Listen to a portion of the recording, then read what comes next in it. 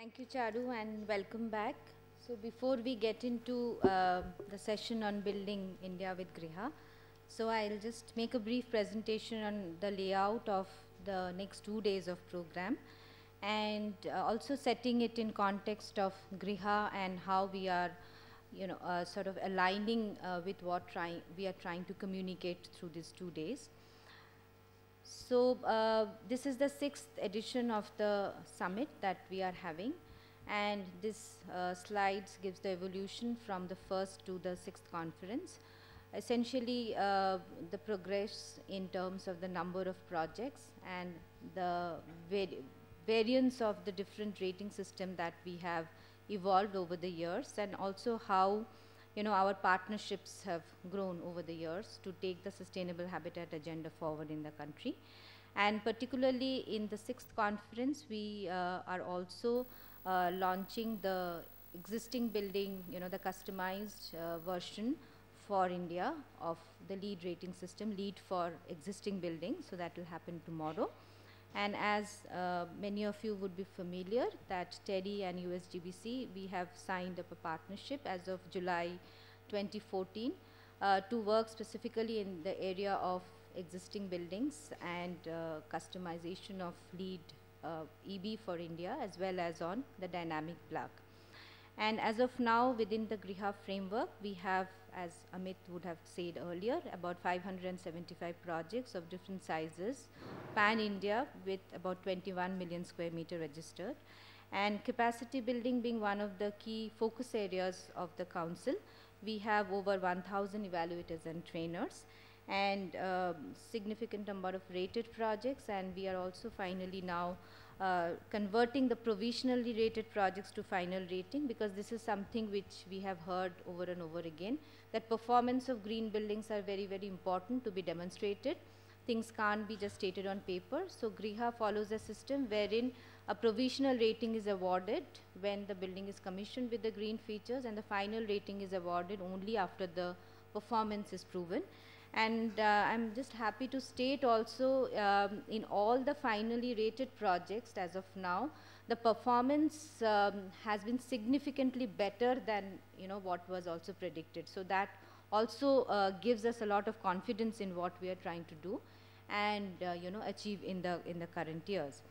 And also uh, we have had significant amount of adoption at the government level and uh, particularly in this area the state of Sikkim has taken it forward and we are very happy that we have a delegation from Sikkim who are here to hear from our experience and also implement it in the state.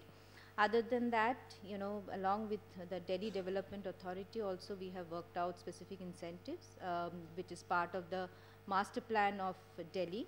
Uh, and um, there are other states and uh, municipalities and development authorities who are also taking it forward in their different capacities and with different kinds of incentives and programs in place.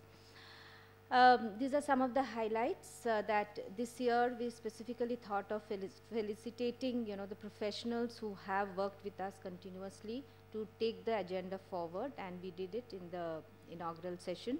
Tomorrow uh, we would be uh, giving away the Griha you know, awards for the Griha rated projects as well as for the exemplary performance uh, of projects that are registered with Griha.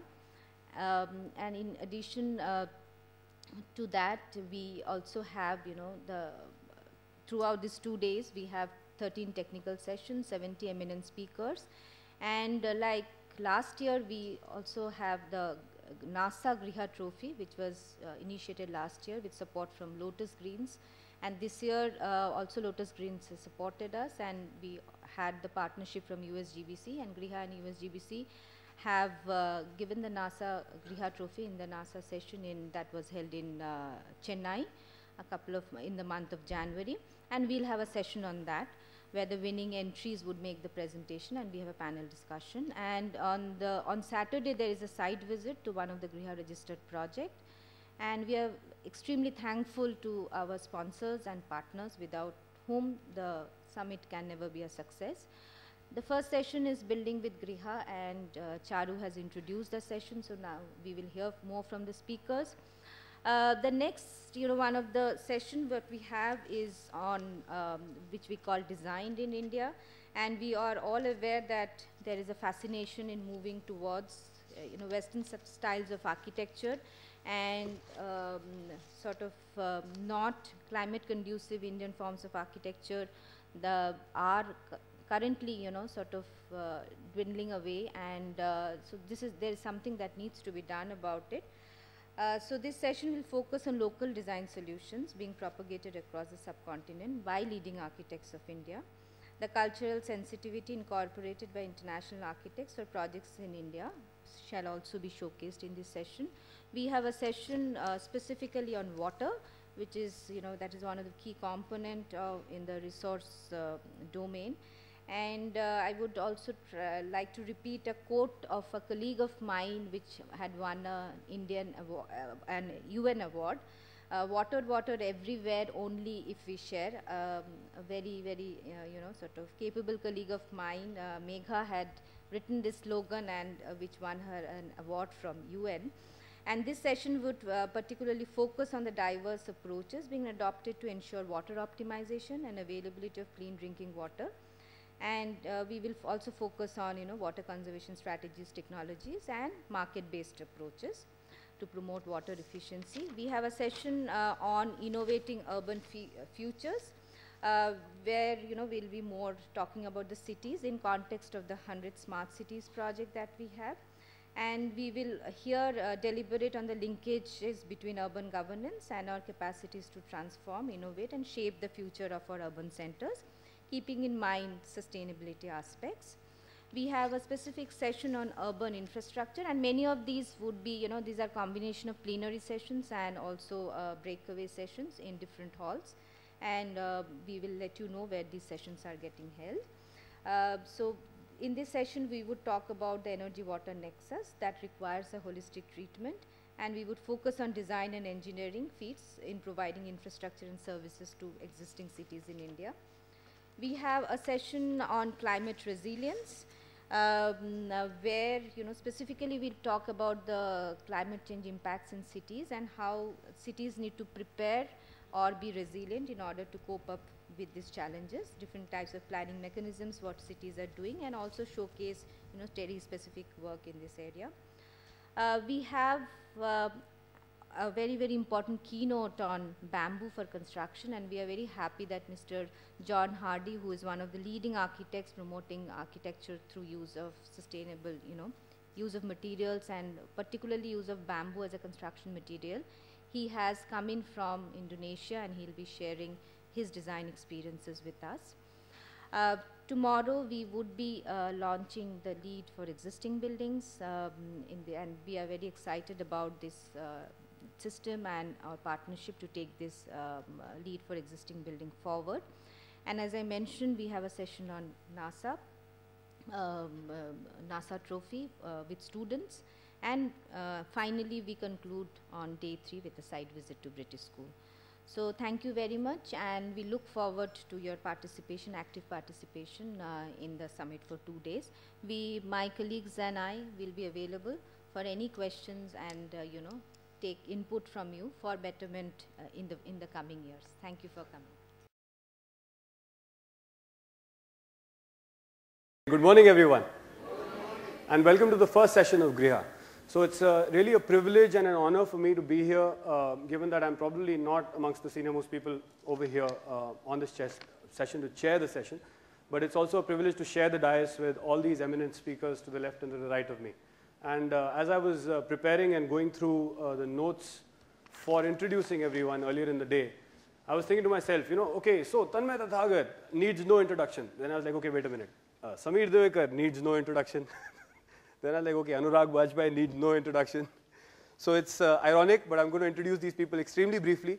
We're going to follow uh, an alphabetical format, and we've also created a game for this session, given that we have a lot of people uh, in front of us who are going to share their experiences, very valuable and very uh, powerful experiences with us. So we're following a five by five format, which means that everybody is going to speak for uh, five minutes, which has now gone up to six because Mr. Javdekar, uh, Aditya Javdekar is not joining us today due to some exigency. But uh, we're going to have about six minutes per speaker um, or six slides. So this is the game that we created. You either do six slides or do six minutes, or do as many slides as you want in six minutes. So we're going to follow an alphabetical format, uh, Atithi Devo Bhava. So I'd like to start with Mr. Andrea Pereira, who has uh, joined us all the way from Guatemala. And uh, let me read out a little about uh, Andres. Andres, uh, by qualification, is an architect. He studied a master's degree in the Technical University in Berlin, Germany, with a focus on urban management for developing countries. With the leadership of his business partner, Julio Alvaro, who's also with us today in the audience. I hope I got that name right. Alvarado, yeah. Uh, Alvarado. Uh, searching for new tools came in contact with Griha certification. And also the first project certified in Guatemala and outside of India, which is an honor and a privilege for us. Andres started the Guatemala Green Building Council and was the first president. Now it has grown from membership to 50 plus firms. While serving as the president and chair of the board of directors, the GGBC became an emerging council with World GBC and ultimately a full and proactive member. Uh, through the volunteer work, he is active vice chair of the World GBC Americas Network. It's an absolute privilege to have you with us, Andreas. And can we have you on the dais to make your presentation first?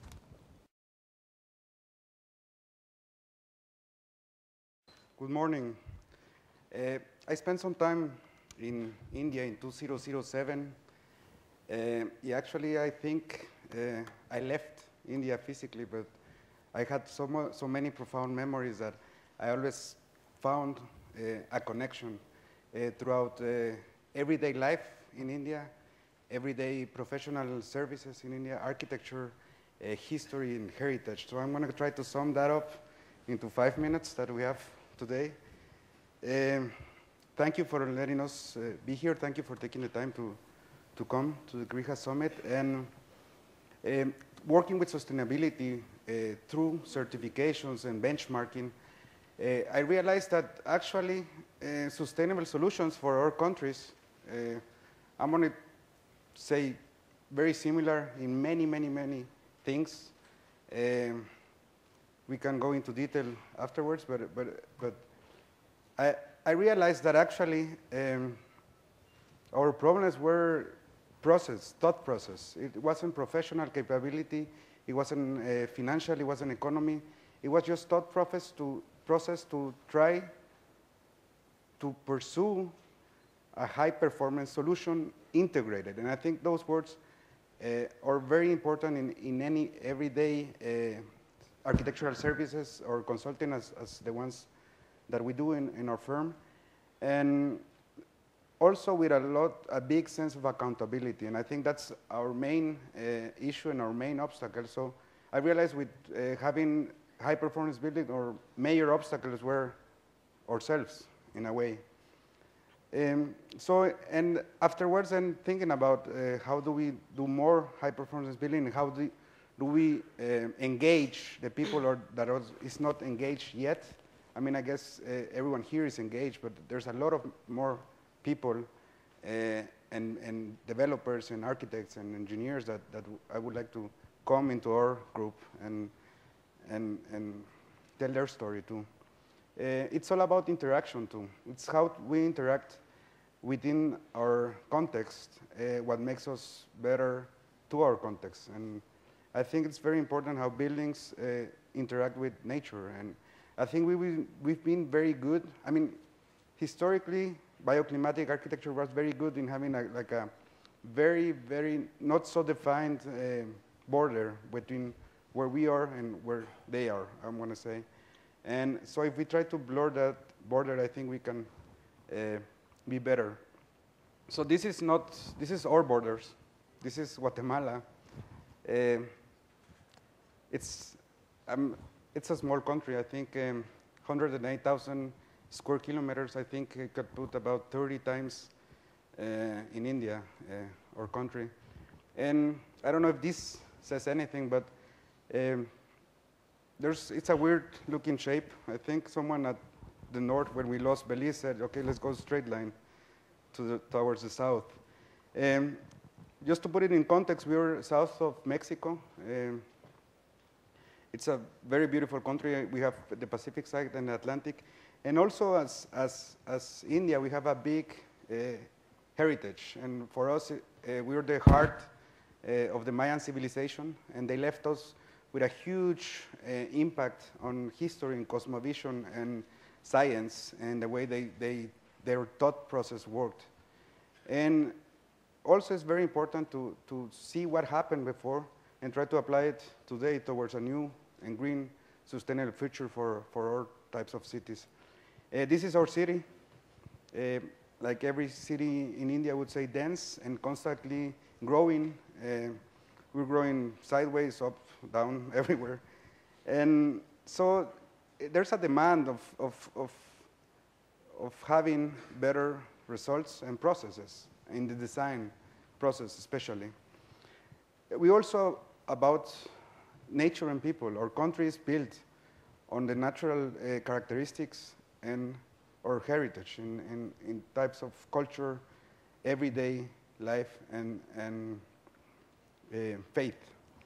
So very similar, I would say, very colorful. We have the Atlantic side, the Pacific side. We have 33 volcanoes, which is a big uh, impact on landscape, which is, uh, I think, very nice. Also, three are active. Uh, actually, that picture in the middle, uh, it was taken about three days ago.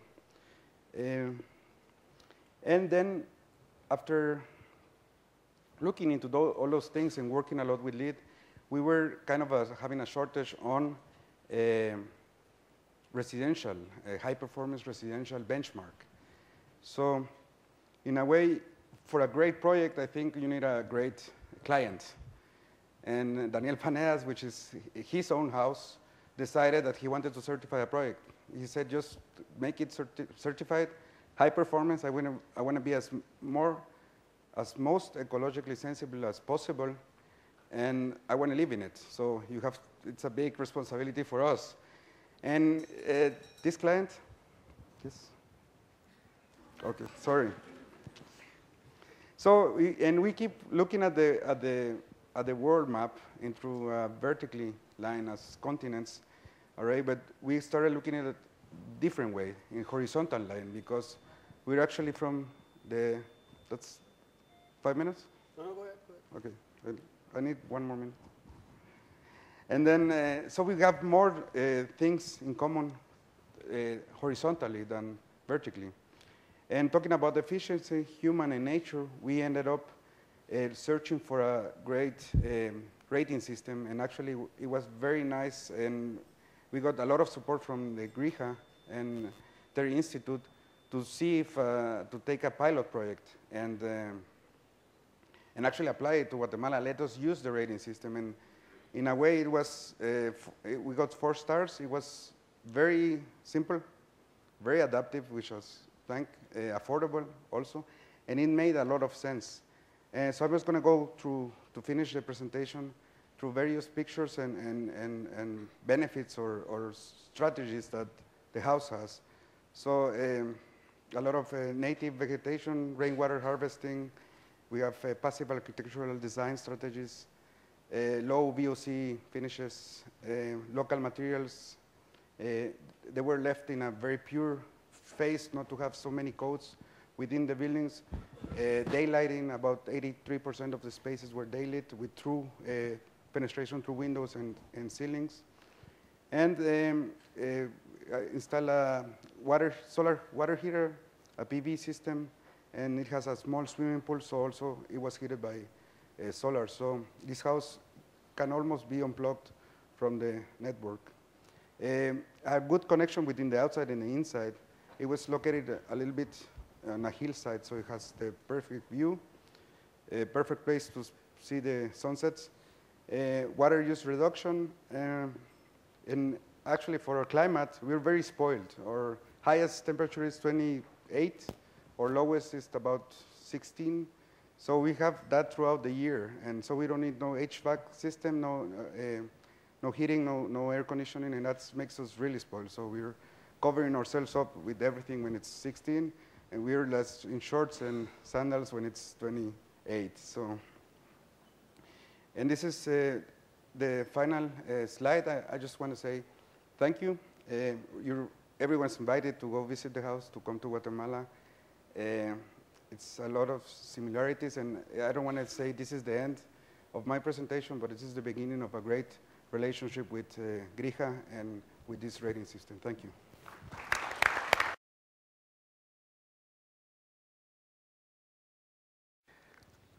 So before losing the time, I'll just uh, uh, show a few of the projects that we have uh, executed. And these are the projects which are uh, certainly uh, uh, exceptional in nature, not because that they have something which is out of the world, but I think the involvement from each and every stakeholder that made the project so exceptional that catches your attention every time you, you visit the project. This is one of the projects that we have done in one of the villages in Dehradun. Uh, it's the University of Petroleum and Energy Studies, one of the premier institution there. And look at the size of the project, the way they have implemented, the team's uh, dedication to bring something new and uh, very original. I certainly, in terms of the game of 5 on 5, Gaurav, I'll uh, pick the first one. I have more pictures, but we'll stick to the point. And you can see how uh, uh, beautifully they have uh, procured each and every material locally. Around 90% of the products that they have installed there or they have used there, they have uh, used very beautifully, but with the local uh, procurement systems. This was again the congratulations to the team that has implemented was there. And let's say the stone rubble masonry, they have a locally, you can see the picture, uh, they have plenty of stone available. Now they have used the stone masonry in their uh, foundations. Even the the uh, use of floors, they have uh, uh for the floors they have used the kotai stone. Uh, for the chipset that comes out from the stones, they have used in uh, um, in the in the finishing of the wall. So all these um, systems that they have installed, you can see it doesn't require any additional expenditure. The client has also explained and they have also calculated what is the additional cost that they have incurred. Rainwater, um, all these best features, zero waste discharge for the campus, all the beautiful technologies that we see and hear, the campus has showcased them. Solar water heating system, and in case of performance uh, of the whole campus, this was the first uh, campus in India which got the Griha uh, four-star rating. And in, after uh, a completion of one year, we also did the energy audit and the performance evaluation. 35 was the EPI number that we predicted and 34 was the final actual number that we got. Again, very small project, but the way uh, the project got executed, it's pretty much like a very customary and very uh, uh, with the routine work that we see. Uh, in most of the cases, we see that during the rainy season, because of the rains, water uh, gets clogged in the basement areas during the construction certainly. And in most of the cases, we pump it out from the, the utilizing the electricity. But this is one of the projects which certainly is uh, not in this region where we see the composite climatic conditions, pretty much the, the rainy uh, season where frequent rains are there. But because of the bamboo availability, they have devised uh, uh this pretty unique system. What they have done, they have basically, uh, let's say, covered the whole basement during the rainy season, and then in both uh, cases, let's say, in this way, they have collected the water in the gully trap, and this was also one of the areas. And then they have collected and reutilized the water for the construction purposes. Certainly, it is one of the things that is we have not seen. We have seen in uh, a few Southeast Asiatic region countries, and we have uh, we did discuss with the same sort of uh, you know, the system so that we can implement in, uh, in Guwahati region. Client accepted and they uh, said that, okay, we will implement it. And it was done beautifully. This was again one of the things that we, uh, we understand and, and, appreciate. Now again, uh, the, we have shown the project in Dehradun, in, in, uh, in Guwahati, in some region. Again, the reason, the pretty much like the normal uh, construction project that we see in Gurgaon. We, why we have shown this project because it's a rated project. This shows very, very high class, uh, high end or five star with five star facilities uh, hospital project.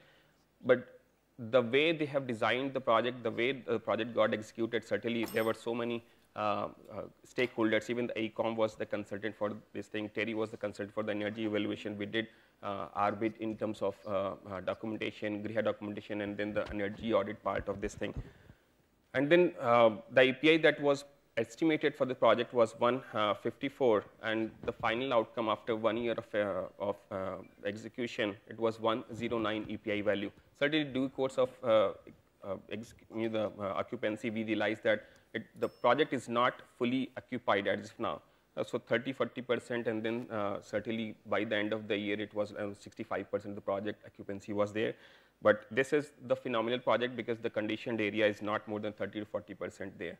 So it looked like a pretty conditioned project, but the way it has been designed and executed is pretty much like the very uh, conventional, very uh, uh, uh passive architecture based project, which has plenty of daylight in inside of the space.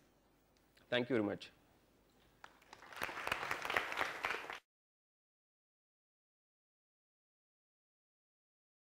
Good morning, everyone. Thanks, Gaurav, for the introduction.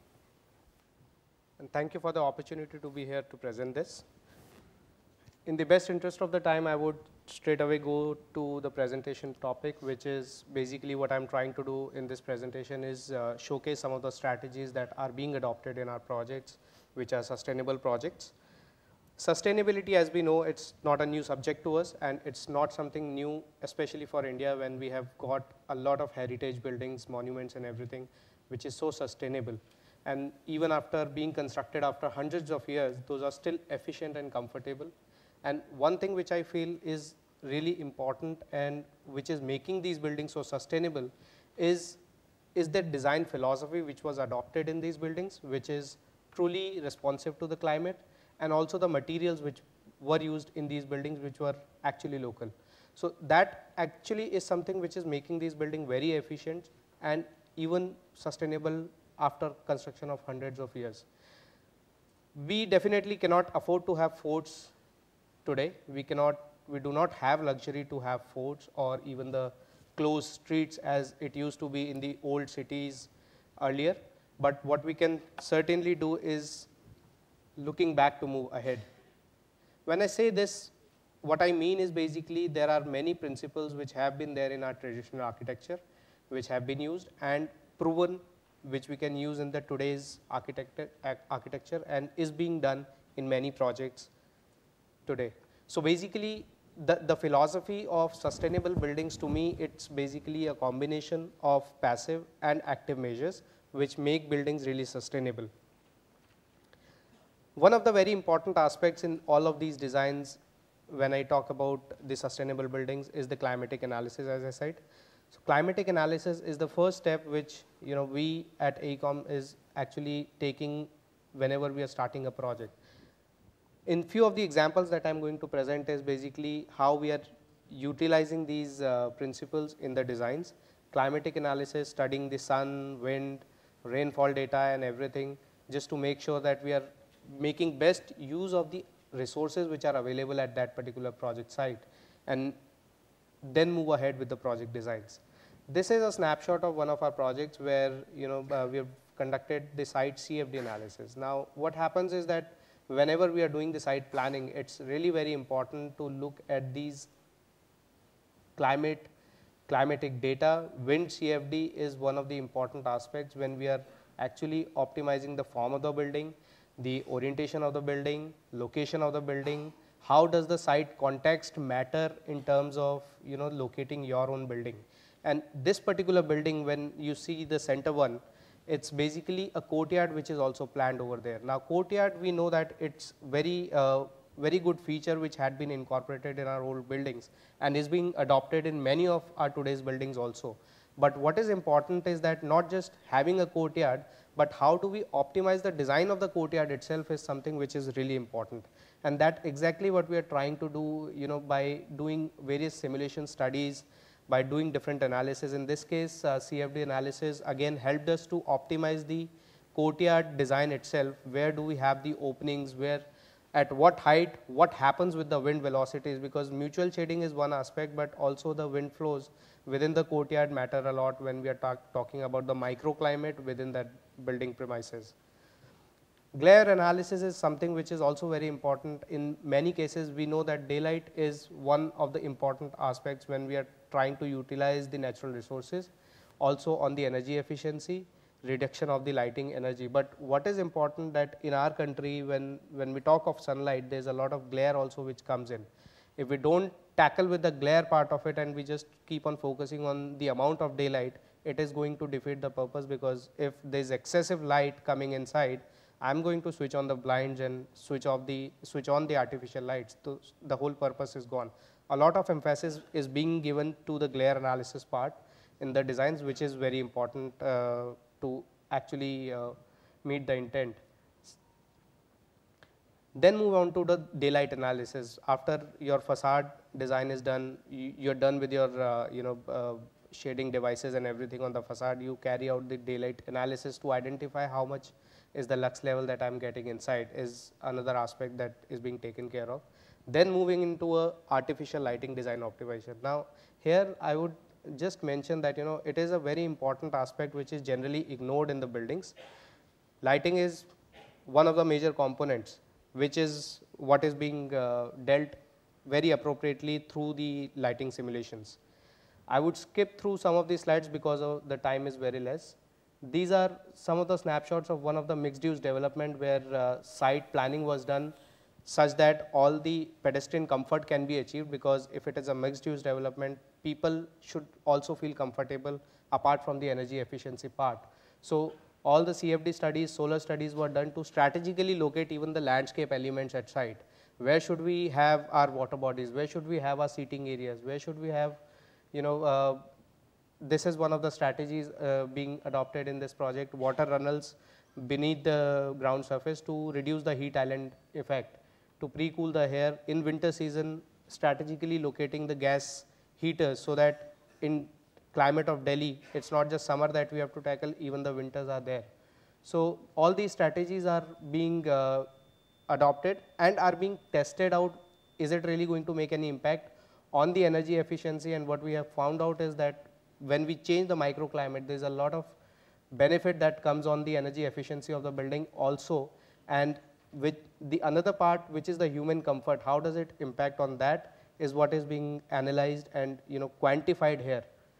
So a lot of difference in the temperature comes in at the surface level for the people who are actually occupying. So in a nutshell, what what we actually should look forward is the combination of passive and active strategies to meet the sustainability goals and to take it to net zero, which is actually the next wave of green buildings. We have already done net zero buildings and the, the main principle which is coming out is actually even little things do matter a lot when we are talking about net zero buildings and which is what is being quantified in all these slides. Thank you very much.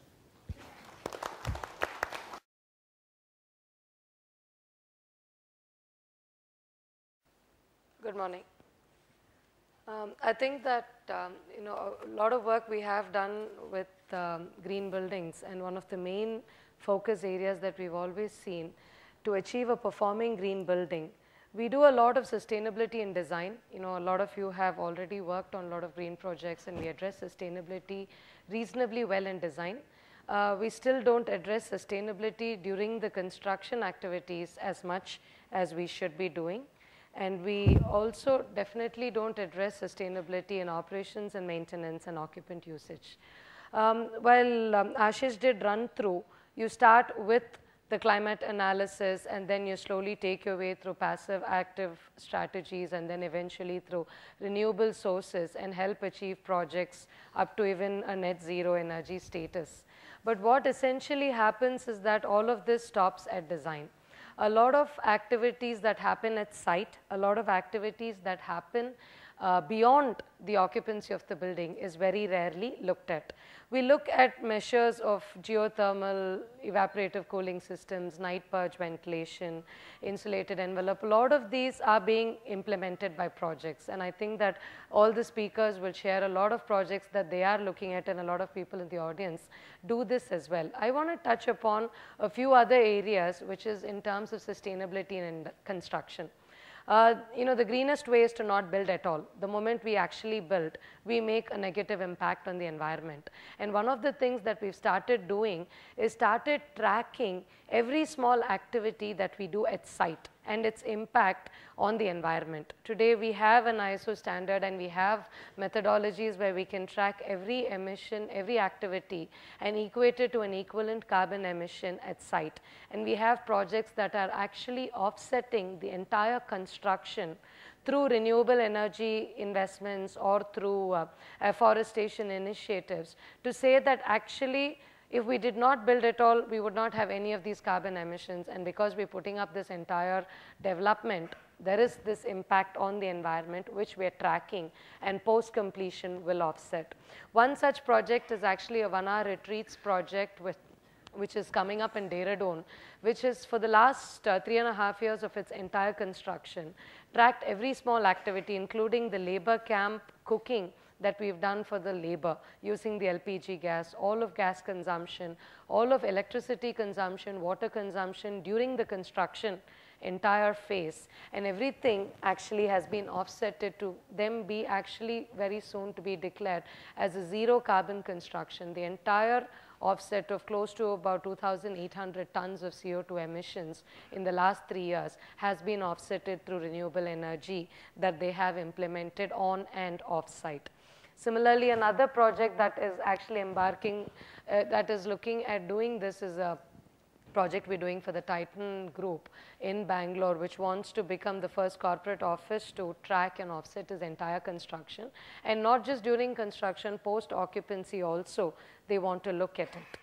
Sustainability in operations and maintenance is a huge area that we very rarely give importance to. I know there is a lot of existing uh, building movement that's happening and you know thanks to USGBC and TERI to bring LEED for existing buildings more focused in India.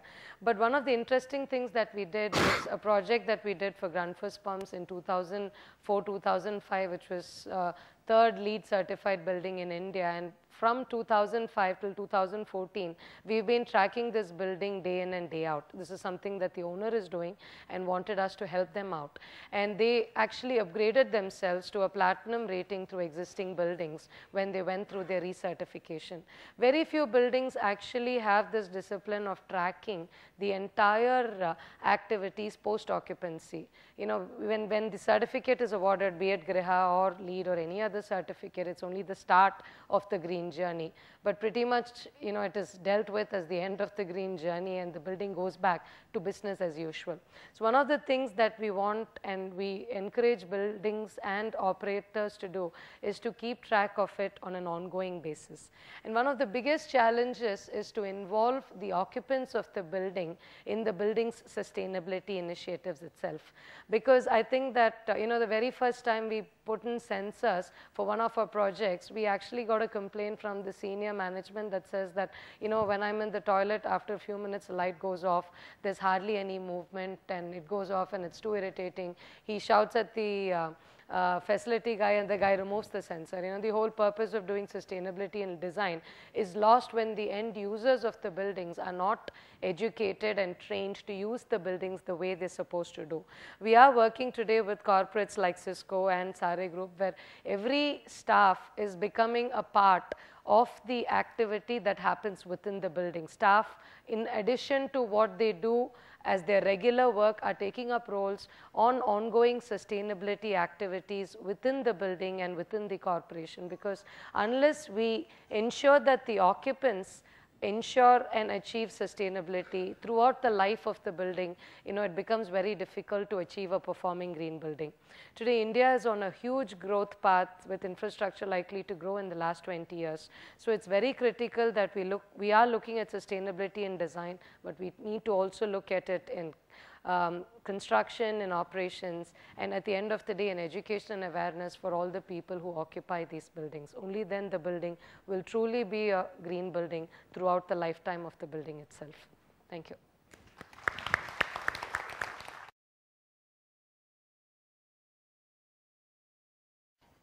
Good afternoon, everyone.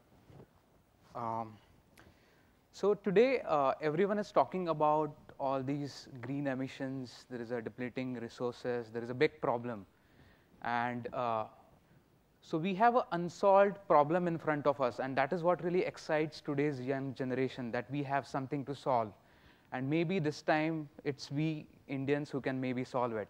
So we at DBHMS, we work with this passion to maybe contribute to this whole effort of making uh, our Earth more safe planet to live with. So that is a philosophy with which uh, ours is a very young organization, and we try to bring that passion to the table. So I'm going to explain a few projects where we have tried uh, our bit to contribute to this effort. Uh, the first project I would like to talk about is uh, Erard Institute. This is in Gurgaon. So, uh, so this first, this project has two phases. One, first phase was already a platinum certified building, and we got involved in a second phase. And here really benchmark was to do something more than platinum rated as well. So we were involved in uh, designing the air conditioning part of it, and we started thinking what is next? Platinum is already achieved. What do we do next in the next phase?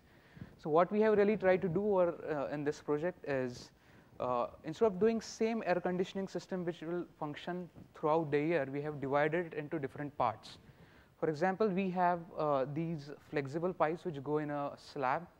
At the time of casting slab, they are already laid inside. Once we uh, pour concrete, all these uh, pipes are within the slab and then we circulate chilled water through these pipes and that acts as a air co uh, cooling system. So now our structure itself is acting as a air conditioning system. To assist that we also have regular ceiling fans because radiant can handle sensible uh, cooling load.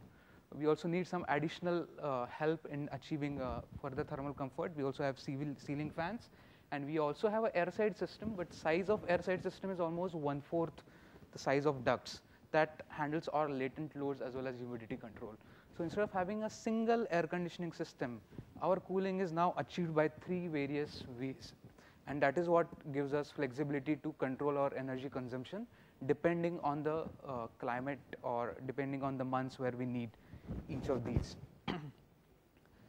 so um, these are the pipes which are laid inside. Also, when we deliver air, uh, if we look at the central section, we deliver air in the lowermost section of a slab and return air ducts are on top. So we are also taking help of natural way hot air goes up, uh, that principle as well. So overall result of that has been uh, really encouraging uh, overall operational cost as compared to the first phase. Second phase building has operational cost. Their monthly bills all are 50% lower as compared to phase one. Uh, similarly, uh, they run chillers at night time. Once they cool the building, they don't need to start chillers for next two days. So we have really saved on uh, chiller operation as well. Uh, so the overall payback for that uh, project was 1.5 years. So after that, they are enjoying 50% lower energy consumption. This project is complete and running for last uh, two years now.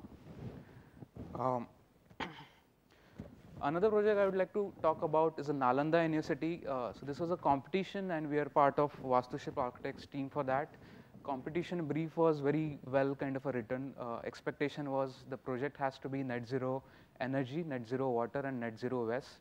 So we cannot take any electricity from outside, we cannot take any water from outside, and we cannot send any waste outside the premise. And this is not a small project. This is 450 acres and overall built up area of around 50 lakh square feet.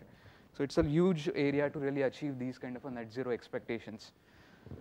Uh, and it also made sense because this location is in Bihar where we already don't have all those uh, options available to tap in also. So for water, what really we are doing is we are collecting all rain water and using that collected water as our uh, water source for all activities.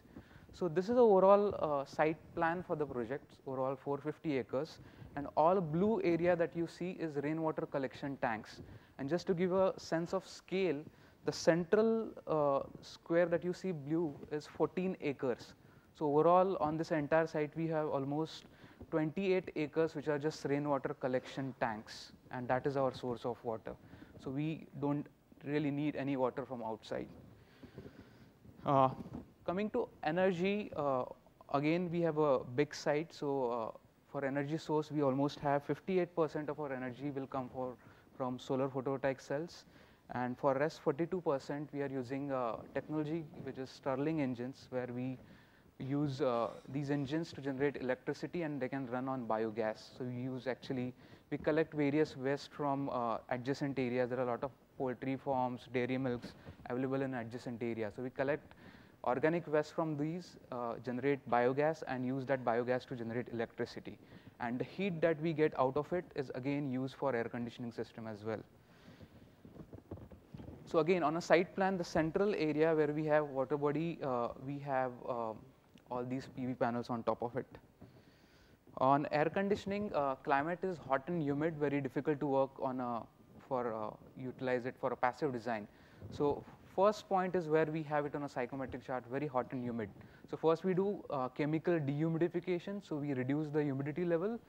Uh, once we have reduced that, we do evaporative cooling on top of it. So by the end of it, we get uh, really low temperature as well as control humidity levels at the end of it. So we get air between 28 to 29 degrees Celsius throughout the year. So that has reduced our air conditioning load almost by 65 percent. Um, another project we are doing is at IIT Gandhinagar where we have, uh, it's done or, okay, I'll just speed up. So this is a MESS block in IIT Gandhinagar. Again, uh, we did uh, various energy simulations and finally the option that we have, we have a central tower uh, which is a supply tower and then there are exhaust towers. So we supply air from a central tower, we do a misting on top of it and the building is shaped to work as a machine. So we just have small pump that is the only energy consuming uh, equipment that we have. Uh, so these are some uh, during construction photographs of that. I would come to last to our own office. So uh, we have also tried to do something in our own office. So we have a central supply duct. We have an open office. So uh, green color is a central supply duct we have. On other end, it, we have two components. One is a air conditioning system and second, the red one, it goes on our roof where we have desert cooler. So depending on season, like few, few weeks we just run our ceiling fans. In some season when it is hot and dry, uh, we use evaporative cooling and when it is hot and humid, we, use, we run air conditioning system. But the overall result is, this is a graph which is our electricity consumption. So we are on the top floor, which is a high energy heat gain portion. Uh, so we are second floor and we, I have also given a graph of first floor. So first floor is a green line where they have their electricity bills are more or less constant throughout the year. While as in our office, we have a big dip for most of the months and only peak uh, in hot and uh, humid season. So these are few uh, things we are trying to experiment and good to see that they are also performing on site accordingly. Thank you.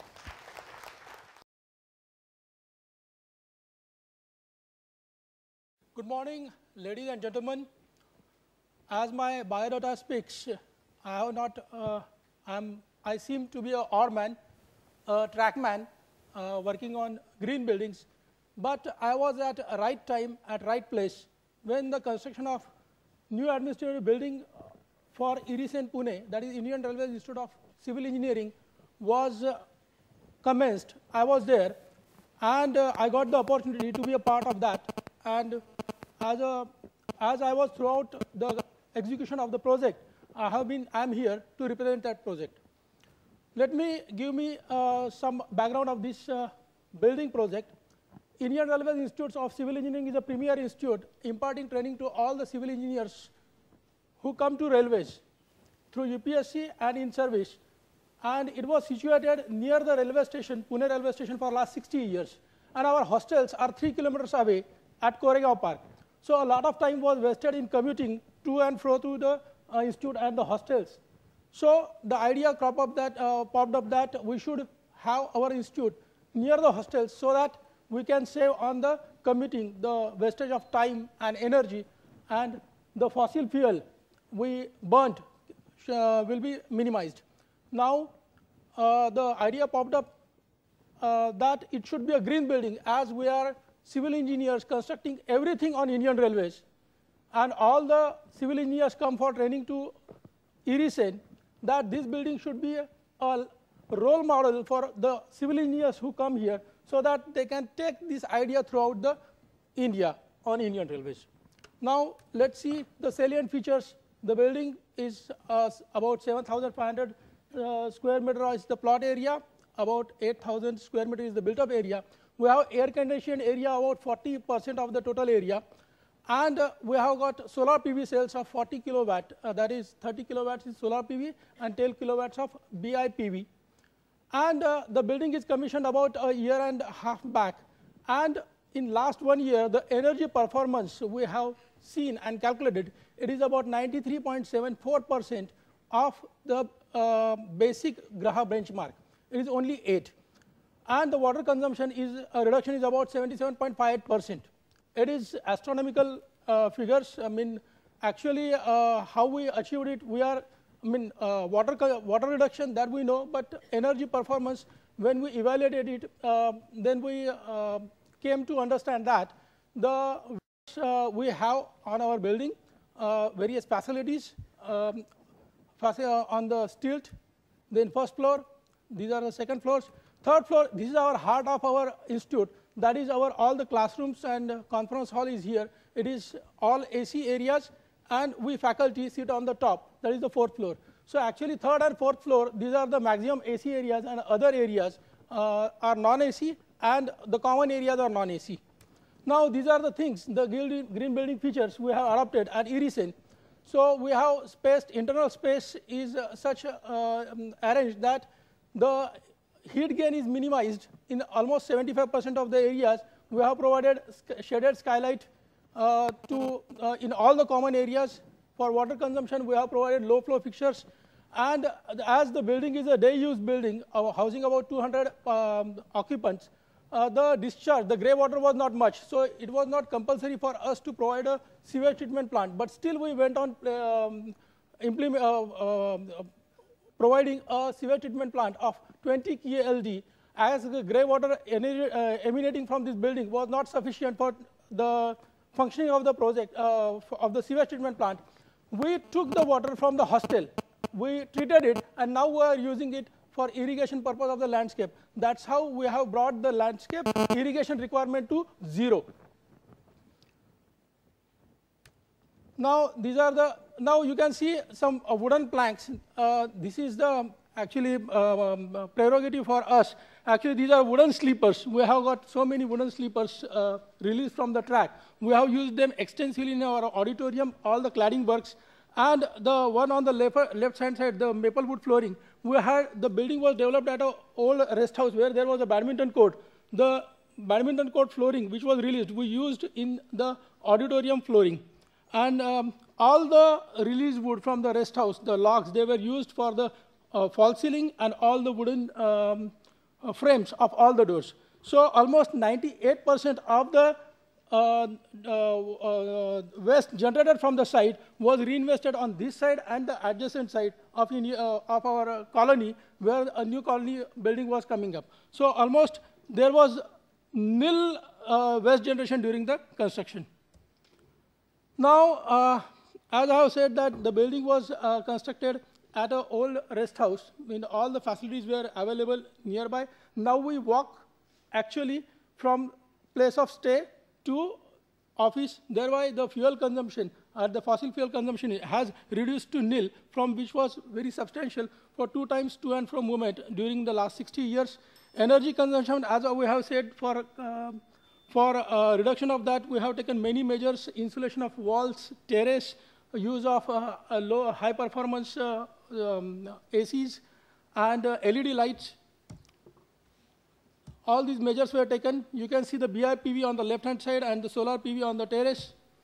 And indoor environment quality, uh, uh, quality maintenance, we have got CO2 sensors in all the densely populated areas, low VOC adhesives and sealant paints were used during the uh, construction. Now, the first motive was to train all the civil engineers for the, um, uh, regarding the green building the idea should be taken to all over the India. And believe me, in last one and a half year, all the civil engineers who, has come to, who have come to the building for training purpose, they have taken this area, idea to all the places, more and more engineers, they are planning for that. All the other CTIs, they are coming here. And the purpose for which IRISEN was planned as a green building has partially fulfilled. Now, as the ma'am, Geeta ma'am, uh, Deepa ma'am has said, that constructing is only a beginning. Actually, we have to sustain it throughout the operations. It is a difficult part. Actually, we are finding it difficult to educate our people, but we are hopeful that we'll certainly do that. These are our agencies. Just mention a brief mention of our consultants because as a track engineers, we were not very conversant with the green buildings, but our consultant, we had fantastic uh, consultants with us, uh, Shashi Prabhu and associates as our design engineers, and um, uh, Green Inertia Hyderabad as lead consultant and Griha facilitator. Okay, these are some additional features as a green, uh, as a civil engineering institute. We have put uh, Vishweshwaraya's bust as a our uh, what do you say inspiration, and on the left hand side you see this is the symbol of railways, which is which is everywhere. There is no beginning, no end. Railway is everywhere, and uh, that's all. Thank you very much.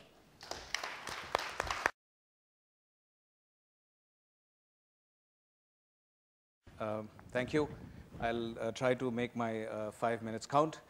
Um, based on our uh, experience and practice of uh, working in India, uh, one of the themes that Gaurav had asked us to uh, talk about was how is it relevant to India, how is it unique to India. So there are two or three things that stand out.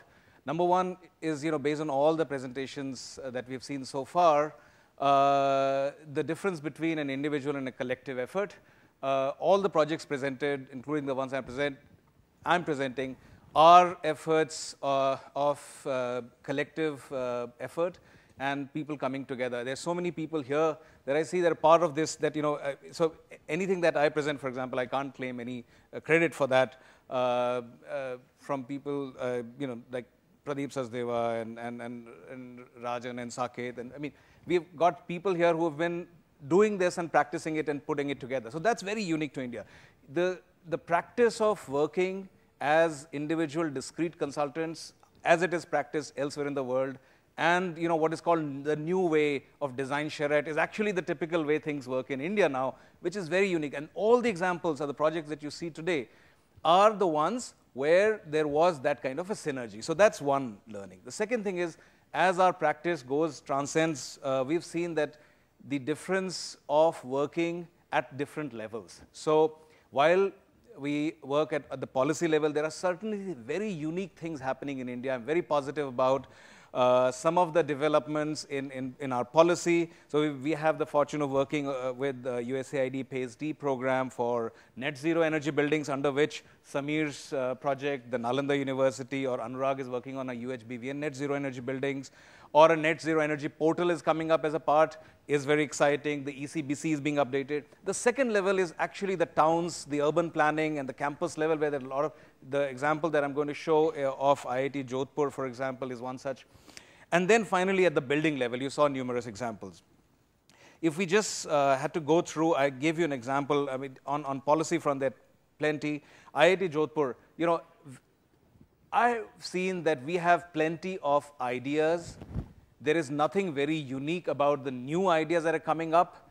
The application is unique to India. So uh, IIT Jodhpur, the whole concept of how do we protect a large campus where there's nothing else from the hot summer winds, the simplest of the idea was to protect it with a berm. And uh, the scientific analysis and the processes that we bring help just com communicate and convince that idea. So this is the built form. There is a berm that goes all around and protects that, uh, the campus. And, you know, we just simulated how does it matter if the berm was there or wasn't there with different, say, summer wind velocities, right? So you see this is a section. Uh, one is with the berm here and one is without.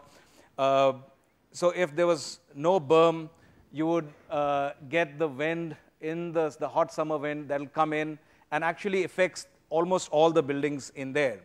The moment we add a berm there, it, it gets deflected and you can clearly see the difference. And you know, we tried this at various velocities and various, to say what happens during uh, one season and the other. Uh, this was a section that you saw a similar thing on the uh, plan. So you see this uh, without the berm and with the berm. So again, without the berm, you see the same effect in a section, how the wind gets uh, into, the, into the facility. The moment we add, uh, there is a clear deflection, and this is at low velocity. The higher the velocity, it keeps going up, and you actually get much better protection from, from this. Maybe one more example of this.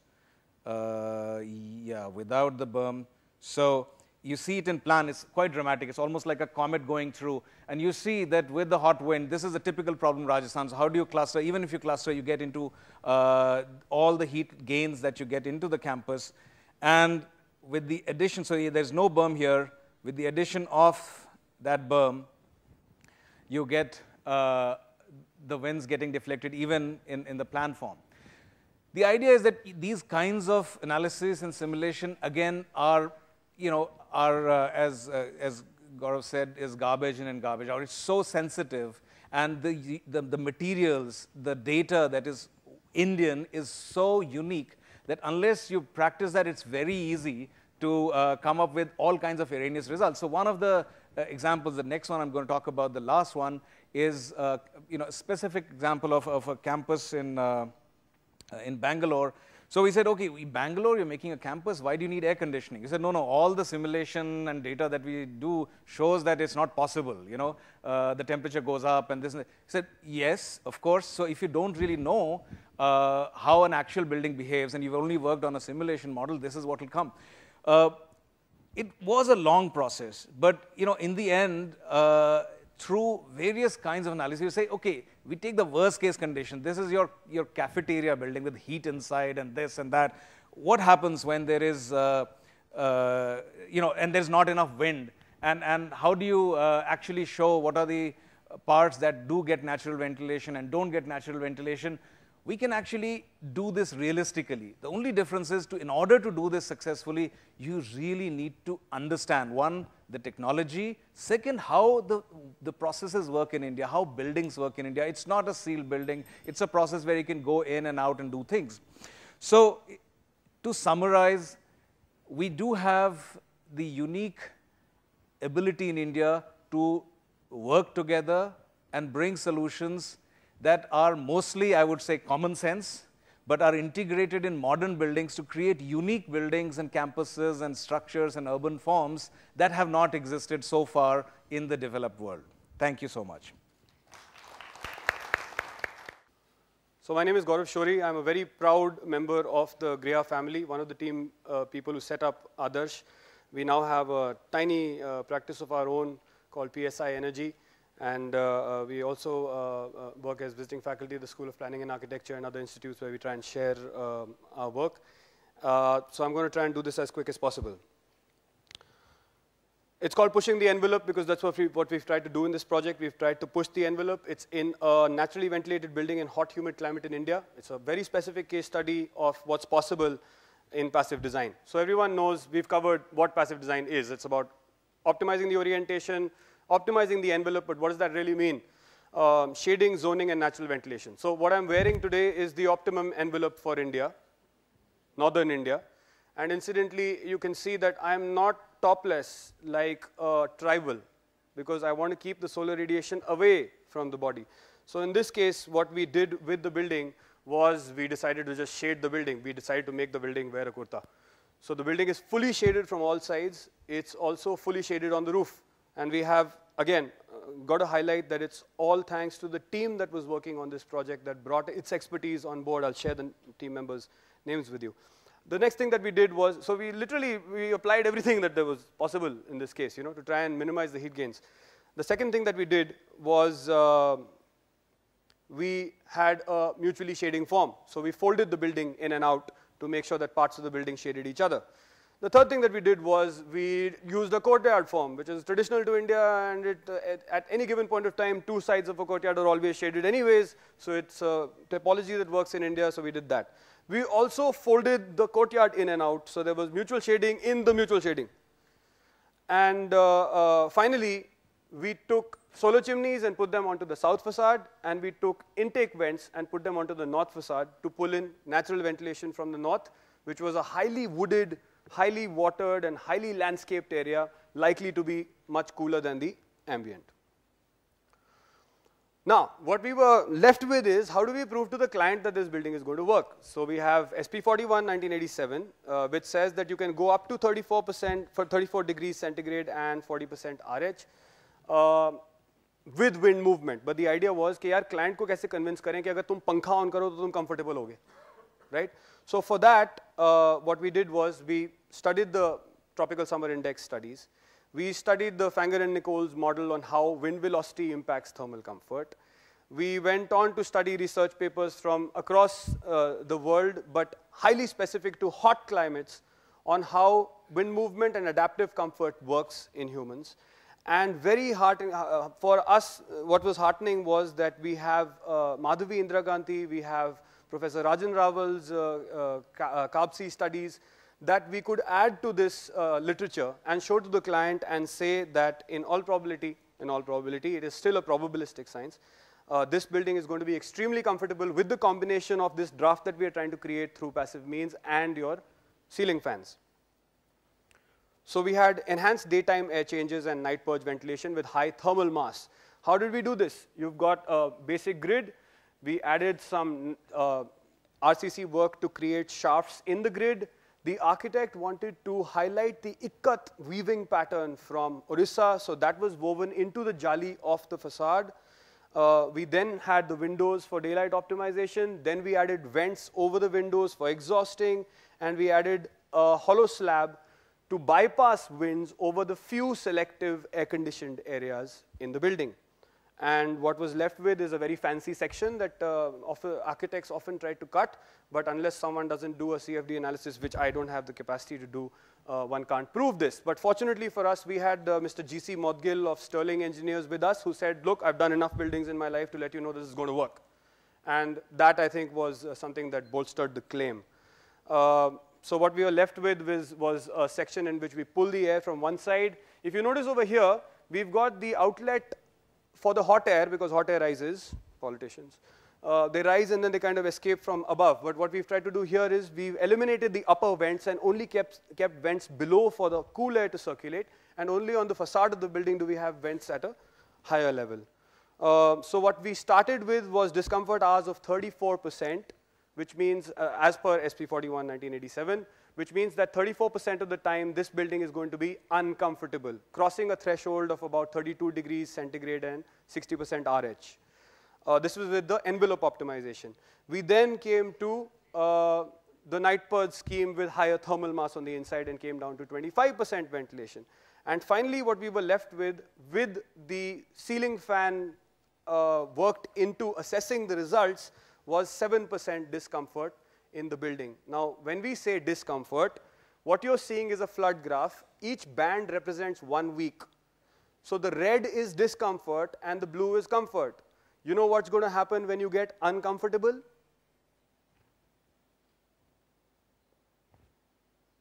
Something magical will happen. Your pores will open, you will start sweating. And it seems that people are scared of doing that today. So we had to tell the client that that's not going to happen over one whole day. It's going to happen over one hour in a day where you're going to sweat and you will use a mop to mop your forehead and that's about it. And the people will go home not dying of dehydration. But it took time to prove that to the client and it finally worked.